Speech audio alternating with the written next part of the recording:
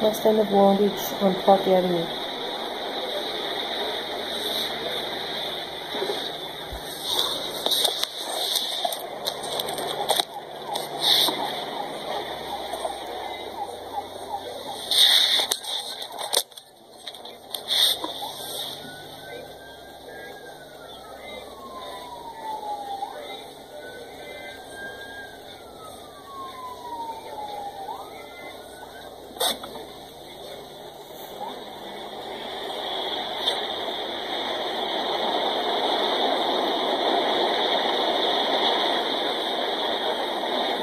The bend in the street.